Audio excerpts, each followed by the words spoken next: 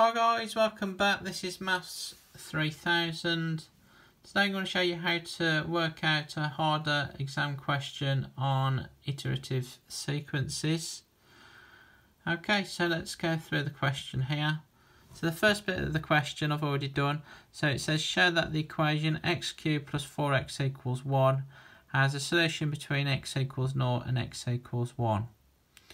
So what I did was subs I substituted x equals 0 into the left hand side of the equation. So I did 0 cubed plus 4 times 0.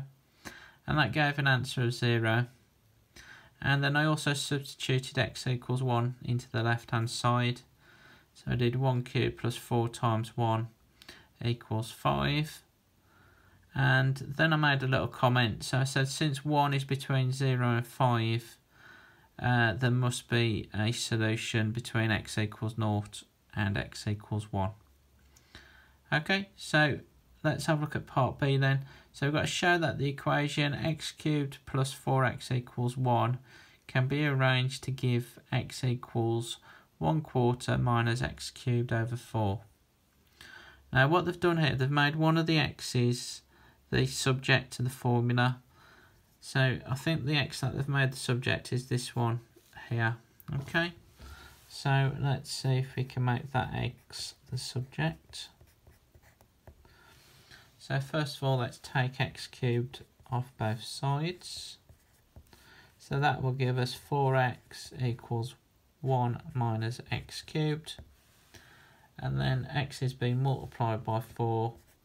So if we divide both sides by 4, we get x equals 1 quarter minus x cubed over 4.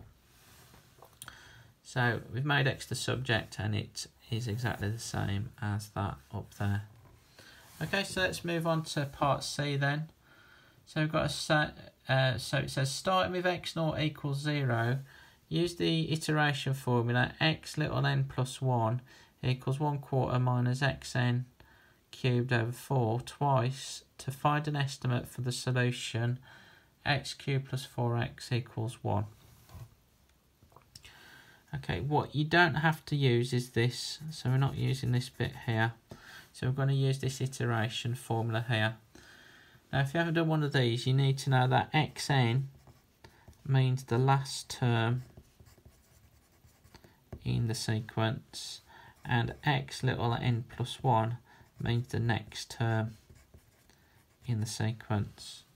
Okay, so our first term that we've got is 0. Okay, so to get our next term x1, we're going to put 0 into this iterative formula. So we change that xn to 0.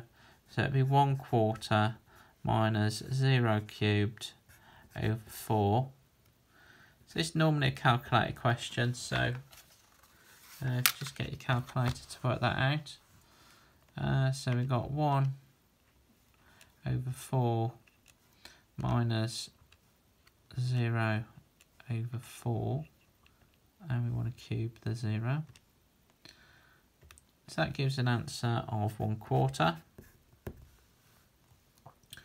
So we now need to work out x2 because it says do it twice. So to get x2 we need to put in that last answer that we've just worked out. So we put in a quarter. So it'd be a quarter minus 1 quarter cubed over 4.